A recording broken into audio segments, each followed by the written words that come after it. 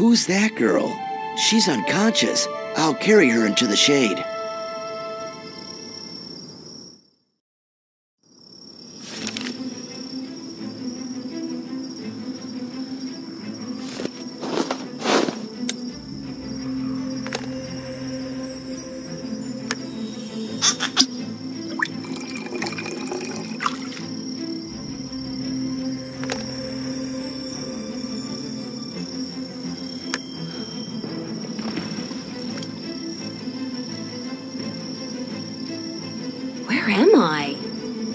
Name's Kiara. And who are you, stranger? I'm Steve. I found you unconscious not far from here. Do you remember what happened to you, Kiara?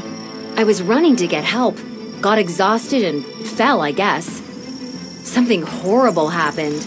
In our desert settlement, a huge sandworm appeared in the very center of the square during the weekly gathering. I thought giant worms went extinct long ago. You managed to escape, but what about the rest? I was lucky because I was standing at a slight distance from the rest. I didn't breathe that stinking gas the sandworm emitted. I decided not to go near, but the worm covered the people in the center of the square with its slime, capturing them in a cocoon. Then we'd better hurry. I read about these creatures. If we are too late, we won't be able to rescue the people from the cocoon. Let's hurry. I'll try to help.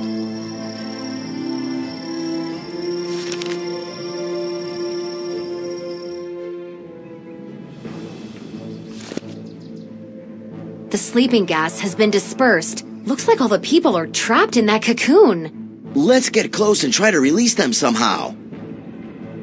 No, this shell can't just be broken. We'll need a special acid. Hurry, I've got everything we need.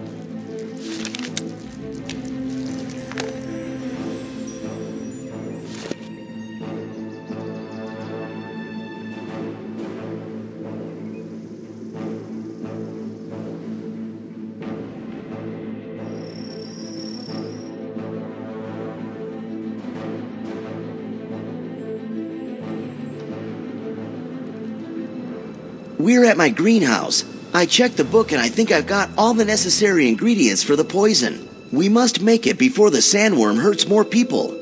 I had some acid somewhere on the ground floor. We can use it to open the cocoon. It's dark down there, so take this crystal.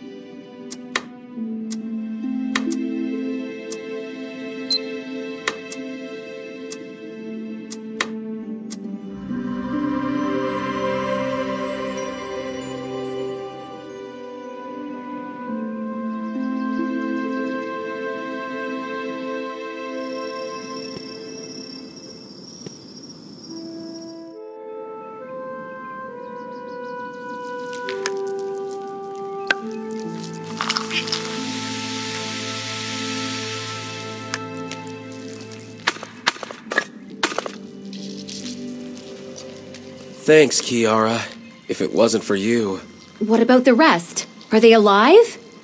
Yes, we lost consciousness because of that sleeping gas, and it was getting harder and harder to breathe in the cocoon that had been spun around us. Thanks for helping us out. No problem. Here, meet Steve. Can you get out without us? We'd like to return quickly, prepare the poison, and do away with the sandworm. Of course. Don't waste any more time. I think the rest will come back to their senses soon.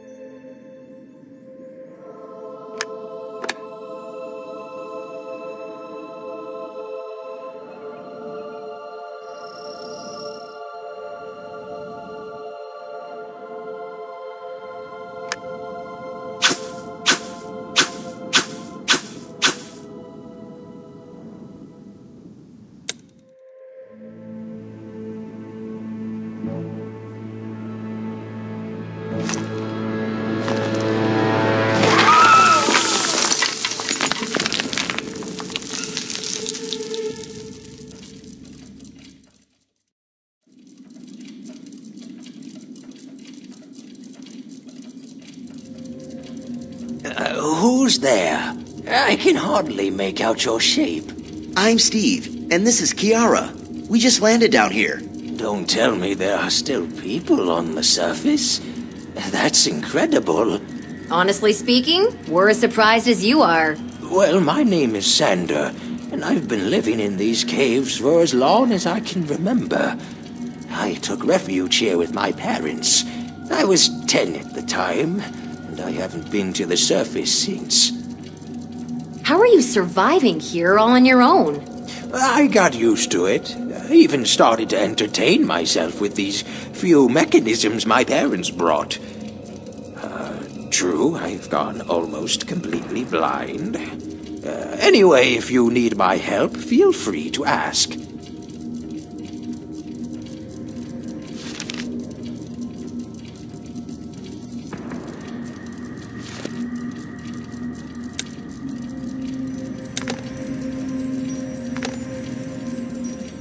My favorite musical clock. It's been broken for years. Uh, can you check if it can be fixed?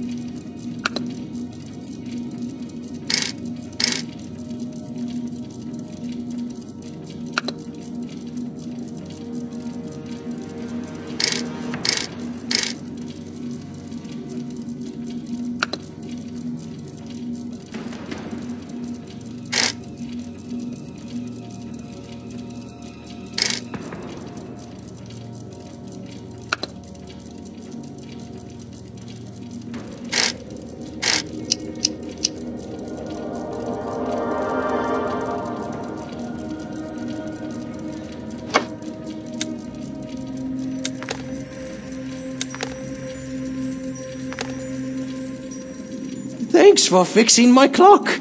Now everything will be like it used to be. But don't you want to go to the surface? Come with us. Oh, no, no. I can hardly believe life on the surface still exists. Although you two seem to prove it. I like it here just fine. In the sunlight, it will make me completely blind. The thing is, it's dangerous in here now. Kiara's settlement was attacked by a huge sandworm recently. Oh, yes. I heard some horrible noises in the deeper caves. The sandworm's lair is nearby. Oh no, he's not my kind of